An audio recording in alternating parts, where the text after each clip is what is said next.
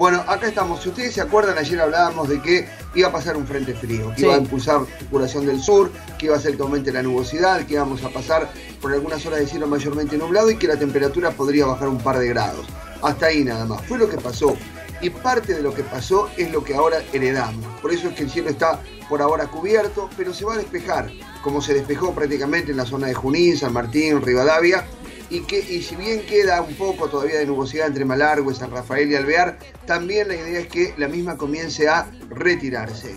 Así que vamos de una mañana nublada a una tarde más despejada y con una temperatura que hoy recupera la tendencia ascendente. Así que hoy vamos por una máxima que va a estar ligeramente por encima de lo del día de ayer. Y lo más importante es que para el día de mañana se mantiene la tendencia ascendente en la temperatura de la tarde, en la temperatura máxima, y recién la vamos a perder el día lunes de la semana que viene. Así que vuelve el aire entre cálido y caluroso a Mendoza para lo que queda esta semana, incluyendo el final de la misma, por lo menos hasta el sábado, temperaturas en aumento y yo creo que no termina esta semana sin que antes el termómetro acuse nuevamente 30 grados Celsius.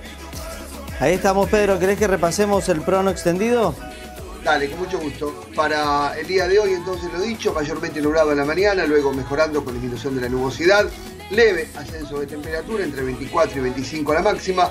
Para mañana jueves ya llega a 27, va a estar bueno y despejado.